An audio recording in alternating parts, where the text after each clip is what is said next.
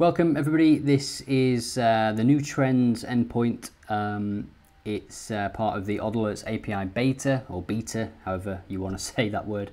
Um, and uh, I'm going to be running this beta until January, uh, January, until September um, from June, um, which is right now, 24th of June as I record this.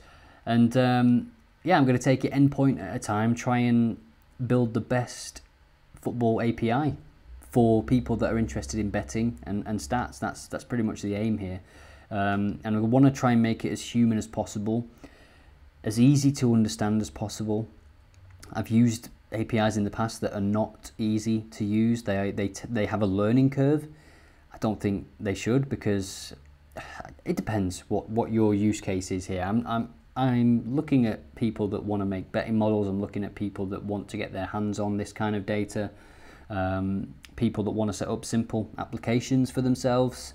Um, and yeah, we'll see how we go. And uh, this is why I'm doing the beta to see what kind of endpoints people want, see what kind of data people want.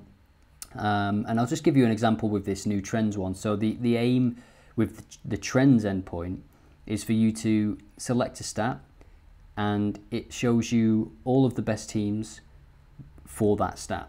So emulating the trends pages on the website, um, where you can look at a trends page and it's a kind of reflection of how many times that bet has won. So for home wins, here are the best teams for home wins. So, you know, it's ranked on how many times that bet has won, which in, in their case is a home win.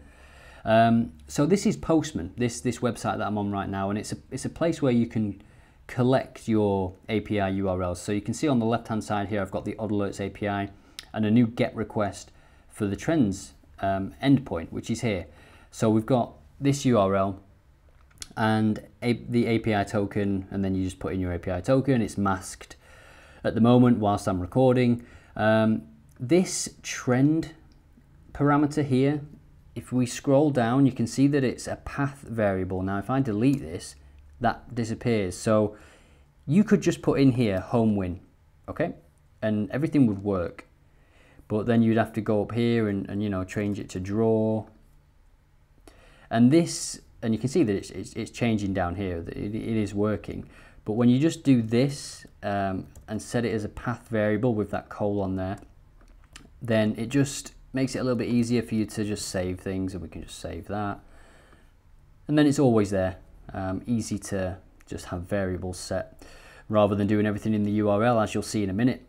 So by default um, you'll have this info array first, um, which is kind of a, an anchor when, when you open the endpoint. And I want to have this across all of the endpoints. As I say, I want to make this, end, this uh, API a bit more human, a bit more readable, um, easy to understand. So you can see what, what trend is this? This is the, the home wins trend that you're looking at right here. And even though you've got no uh, settings or filters in the URL up here, you can still see which ones are available um, and it'll show you the current settings. So for most of these, it's false because these are you know filters on the stats and the odds. Um, but for the sort, it's going to sort by the stat for default. The duration is one day for default, so 24 hours. Um, and there is one, uh, this is the first page, 250 results per page, 345 results. So we have two pages that we can go at. Um, and actually I will just add a page parameter here. Default is one, and there we go. So when you check on one of these, let's check on the minimum odds. And you can see there's a little description here that I put in. So minimum odds, set one for games with odds only. If you're not actually bothered about, you know, um, restricting the odds, but you only want games with odds, then just set one. Um, let's set 1.6 and let's also set a minimum stat, so 60%. So this is for home win percentage. So this will show me games, in fact, let's go 70. Um, so teams that have won 70% of games and the, the odds are 1.6 or higher. So let's hit send. 19 results. Um, we've got a game from Chile in the Cup. We've got a game from USA. We've got a game from USA again. Um, and you can see these are the stats that are included. So you have a stats object inside there. You have the home team and the away team, and they will both have the same stats for you to look over.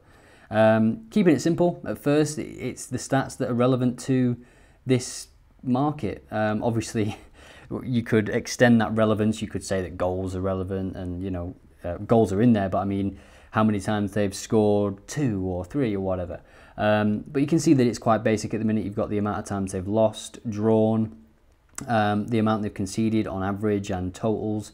Um, and this will change depending on the trend you're looking at. So again, this is just part of making this easy for you, making it as effortless as possible for you, really. Um, and then there will be ways in the future for you to include certain stats uh, should you need them. Um, so we can see the odds there as well, and you can get a timestamp of when the odds were updated. You get the kickoff time here, and this is converted into your time zone based on your settings on the Odd Alerts website. So this is a benefit of, of Odd Alerts being around before launching an API as well, because we've got the user base that have already been working and having accounts on the site. It means that we can have settings on the site that then uh, translate over to the API pretty effort effortlessly as well. Um, so time zone is just one good example.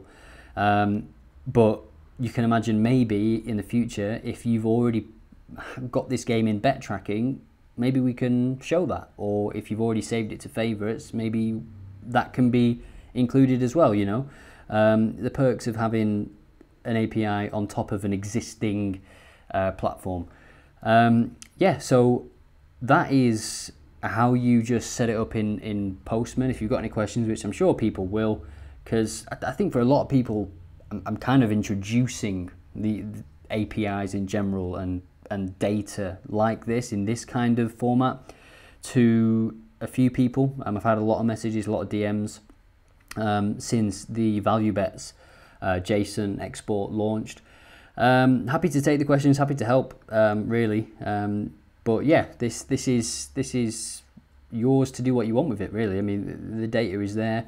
Um, just another one as well. The duration here, if we add this. Uh, we can look at the next five days by doing this and we can just put that in there. Um, you'll now see the next five days worth of games and we are still going to be using all of these rules and filters that you set up here. So that is um, a very basic introduction into the trends endpoint. Um, you can start playing with it now. The API key is on your settings page. There is a, a new article on the Insights blog um, on the website, which details all this. Um, I will be adding this video to that page, so if you're watching on that page, hello. And um, I will also be adding a link to this very Postman workspace so that you can just clone it much easier, um, so you don't have to set any of this up. Okay, enjoy.